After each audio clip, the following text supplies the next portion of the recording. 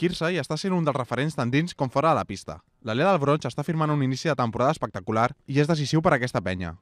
Tot i que l'equip no està pensat per anar a la Copa del Rei, la classificació diu totalment al contrari i tot i això, els homes de Salva Maldonado no volen pensar més enllà del proper partit.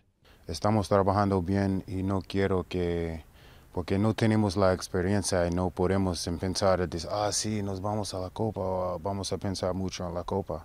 Pero tú sabes cómo soy. Yo, claramente quiero estar en la Copa, pero no quiero empezar de tener distracciones de pensar mucho en la Copa y, y pensamos que ya estamos, estamos, somos un buen equipo y, y pensamos de bajar a nivel en los entrenos y solo pensando en febrero.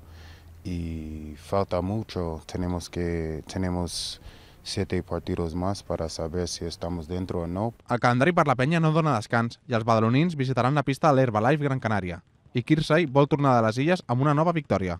Yo creo en nuestro equipo, yo creo en nuestros jóvenes y yo creo en el proyecto del club y sí es posible, pero bueno, nuestro objetivo es ahora de ganar un partido afuera en Gran Canaria, com hemos hecho a Tenerife, falta una altra isla para ganar.